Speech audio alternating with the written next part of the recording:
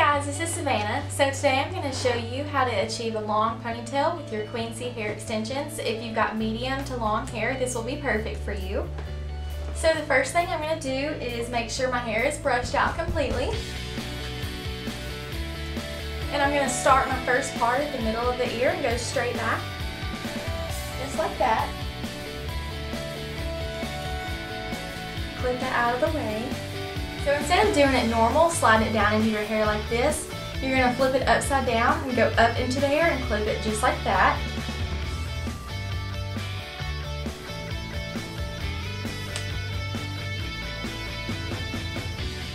So I'm going to do that for the next two sections.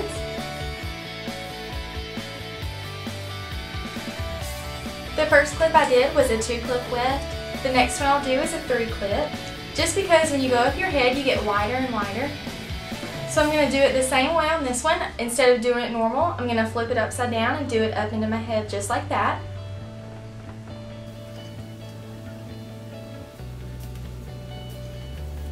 The last one I'm going to do is a four clip weft.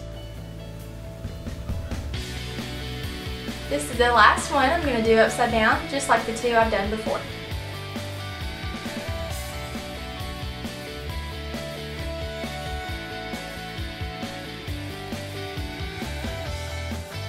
So now I'm going to section the top of my crown right here. I'm going to put in my four clip weft and you'll put the middle two in just like normal and you'll curve the side clips around just like that.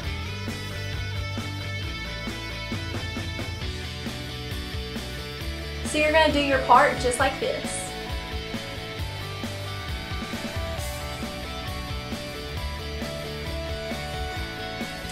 So I've got my two middle clips in just like normal and I'm going to pull my two side clips around and back.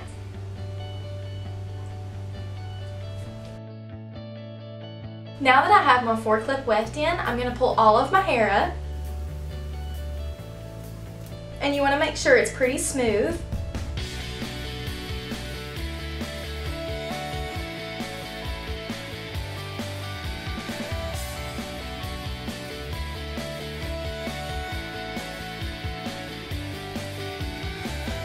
So now that all of my hair is up, I'm going to use one more weft, which is my three clip weft.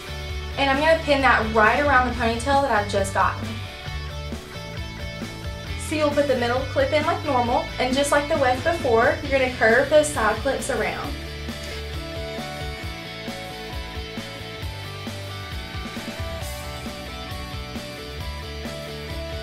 So then the last thing you'll do is just take one little piece of hair from underneath and you'll just want to twist that around to cover your weft. And you can secure that underneath the ponytail with a bobby pin.